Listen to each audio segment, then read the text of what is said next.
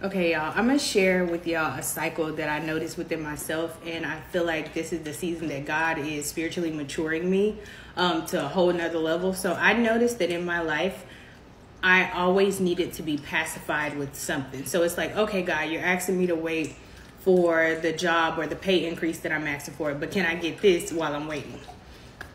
Or, hey, God, I really am desiring a healthy relationship. Um, but if I can't have that, can I get some money or can I get this while I'm waiting? And it was like I needed something to pacify me while I, while I was waiting on the things that God um, had promised or the things that I had been desiring, I had been asking Him about.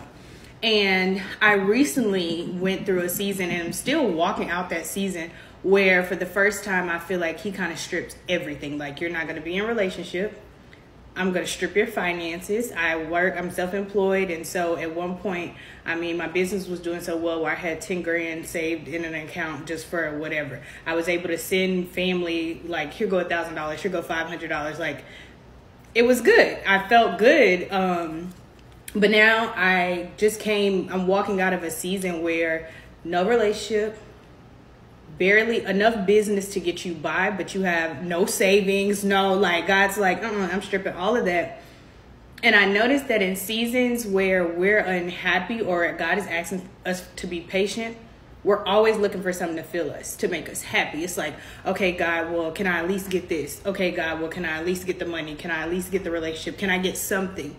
And when we get it, what's so funny is it doesn't really, it gives you a season or a feeling of happiness, but it doesn't give you the full thing. You know what I'm saying? Like you always find yourself needing something else.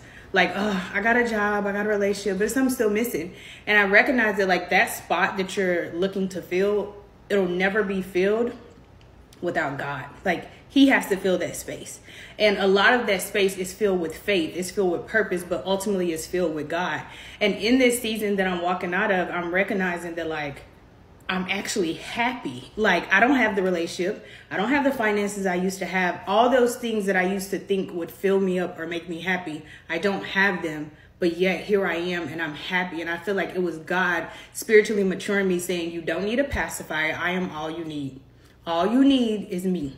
And anything you need outside of me, I will give you access to it. I'll give you the tools for it or whatever. So I hope this helps somebody to know that, like, for me, that's when I realized I was spiritually mature because I know that if I have God, I have everything I need. Meaning, if something costs a billion dollars, somebody else might need a billion dollars. I just need God because He can get it to me without me ever seeing the money in my hands or whatever. So, fill the void with God.